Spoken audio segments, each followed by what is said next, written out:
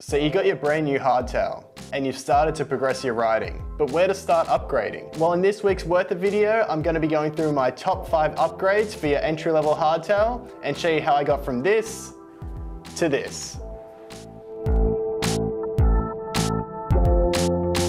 Hey everyone, Phil from Bikes Online here, and as you guys know, my current ride is a Marin Bobcat Trail 4, which I consider to be one of the best value hardtails to get into some real trail riding. But as you can see, I've upgraded it quite a bit since I got it. But before we dive in, I posted a poll a few weeks ago about what you guys thought were the top five upgrades for entry-level hardtails, and this is what you guys voted for. So interesting to see the hydraulic disc brakes were actually the top, and that was closely followed by 1% by a dropper post. But my order's a little bit different, so let's dive in and see what I thought my top five upgrades were. When it comes to bang for your buck, nothing quite beats upgrading your contact points. And while your tires connect you to the trail, how you connect with your bike is just as important. So that's gonna be your grips, saddle, and your pedals as well. And surprisingly enough, most budget bikes really get this wrong. But things are getting better. And the perfect example of this on my Marin Bobcat Trail 4, it came with a short stem and wide bars. So I think it had 780 millimeter wide bars and a short 45 millimeter stem, which really puts you in a confident position on the trail.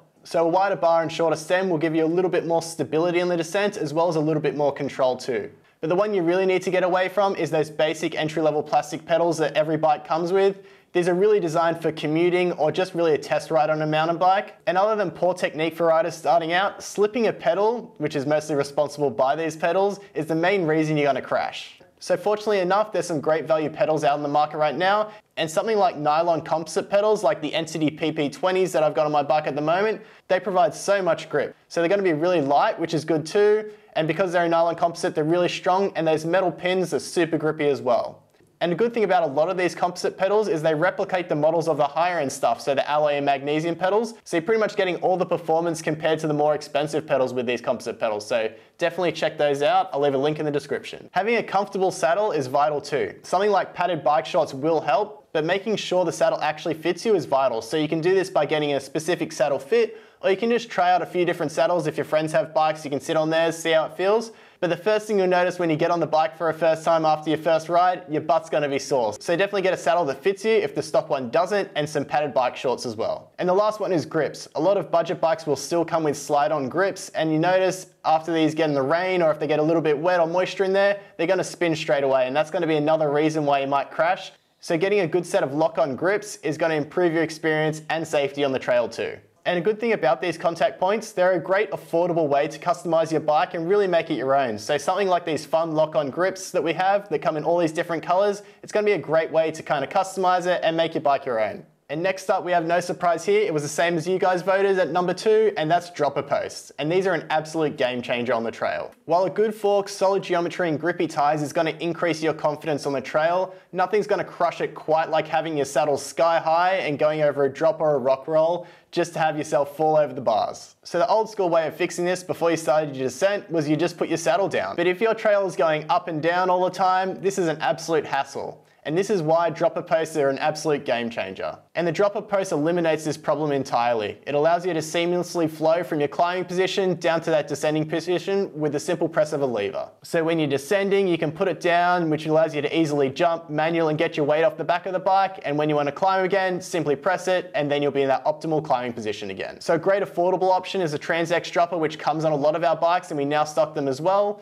The main thing is you just want to make sure it fits your bike, so definitely measure twice when you're doing this because they do come in different lengths. And if your bike has bottle cage mounts on the seat tube, which a lot of entry-level hardtails do, you just want to make sure there's no interference there with the insertion depth. Next up, we have tires, and let's face it, most budget tires suck. And having a good set of tires under you is super important because as I said earlier, this is the one part of the bike that connects you to the trail. Well, at least if you don't crash. And there's plenty of good quality tires to pick from, but you want to make sure you get the right one. So there's lightweight, fast rolling XC tires. It's great for kind of XC riding and lighter trail riding if you want to cover a lot of miles. And then there's super grippy downhill tires with super aggressive casings that has lots of puncture protection that are super tacky. So you just want to make sure you're getting the right one. So definitely subscribe to the channel because I'll be doing a full overview of our Maxxis tires that we stock so I can help you make sure that you get the right Maxxis tire for your riding. On my Bobcat Trail, as you can see, I went for Maxxis. The tires that I went with is the 2.4 Maxxis Rekon. I really like these tires. They've got a decent volume there, so they're nice and comfortable and provide a lot of grip. And then the tread pattern's nice and balanced as well. So it's fast rolling for kind of more that XC stuff, but there's decent edge tread on there, so it's great for trail riding too. So if I'm looking for a do-it-all tire for XC and trail riding,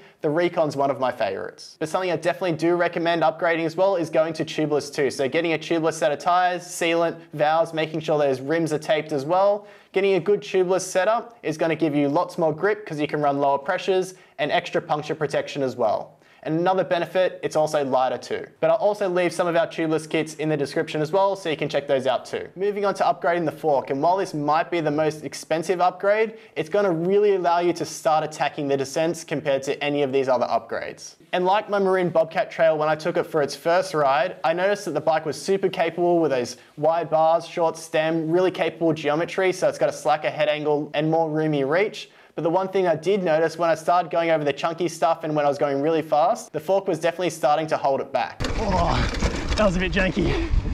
So these bikes really want you to push them, so it's definitely worthwhile having a fork that can keep up. A good analogy would be something like a sports car with terrible tires. You've got a great chassis and the engine's there, you just need those tires to make it the whole package, and for me, that was what the fork provided. So a modern air fork like the Marzocchi Z2 that I've got my Marin, it provides a lot more adjustability, it's a lot more supple too, and definitely more support, but it also provides you with a lot more tunability there. So, so you can tune it with volume spaces, change the pressure, the compression and the rebound as well, so there's plenty of adjustability. Which compared to the entry-level coil fork, it only really had preload, so you're definitely got to notice those benefits on the modern Air fork. But a top tip here, when you are looking at selecting your first mountain bike, if you haven't already, I would definitely recommend getting one with a tapered head tube. This is going to give you with a lot more options to upgrade your fork in the future, so something like a Polygon Xtrada that we sell is a great option or even the Marin Bobcat Trail, it does have a straight head tube, but it is oversized. So if you change the lower headset cup to an external one, you can run a tapered fork as I have done here. So, so I definitely recommend looking into that. So moving on to the last upgrade and controversial opinion here,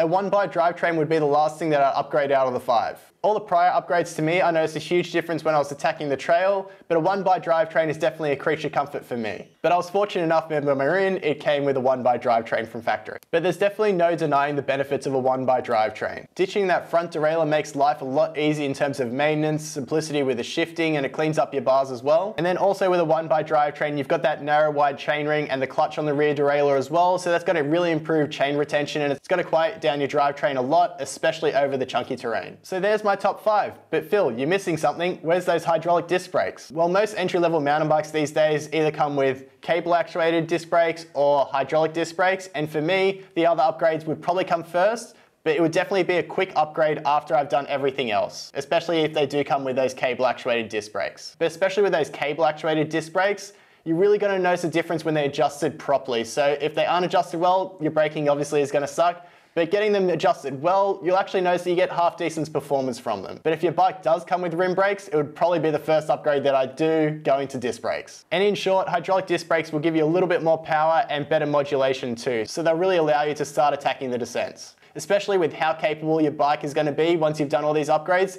you really need some brakes that can stop you. So I hope you all enjoyed this video. Definitely let me know what your top five upgrades are, or if you've upgraded your hardtail, let me know what you've done. And as always guys and girls, thanks for watching. See ya.